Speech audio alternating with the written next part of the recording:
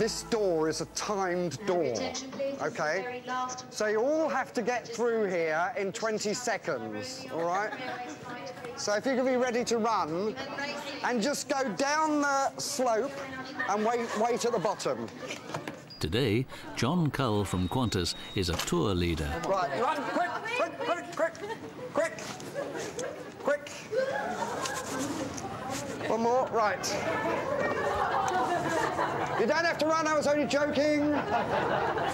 John's hoping to impress a group of travel agents who've come to see just what it is they're selling. They are boarding a jumbo jet and heading for business class, where a seat to Australia and back costs over £4,000. With all the latest toys thrown in. You're allowed to play with your little things while you're up here, if you like. These are little lights individual lights, and I was just told a few minutes ago that our um, customer services department had a complaint from a passenger who couldn't get the steward to come. Apparently she was shouting into here thinking it was a speaking tube. Must have been a very elderly lady.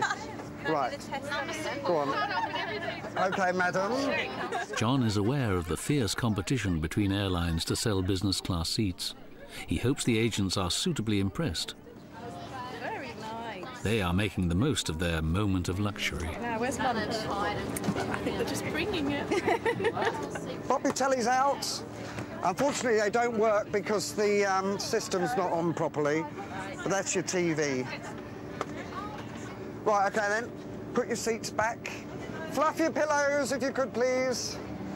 John's taking the travel agents to see a very exclusive part of the plane.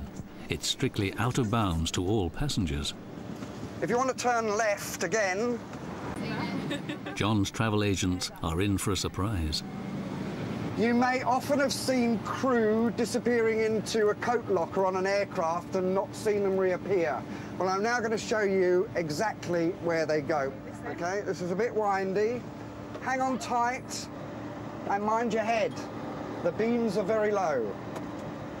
All right, if you don't want to come all the way up, you can just have a little look. But I just thought I'd show you this. Some bunks up here. All right. Tucked away at the rear of the plane is the crew's own secret hideaway, equipped with six bunks. During a 13-hour flight, each crew member is entitled to just three hours of horizontal rest. It's not normally this hot up here, of course. Well, it depends on what the crew are doing, I suppose. John's duties are done everyone here, we'd like to thank you very much, John. Pleasure. I've enjoyed it. I've enjoyed seeing you all. Everyone, clapping for They seem quite happy, so I'm going to go for a meal now, and I'm going back to check-in, unfortunately.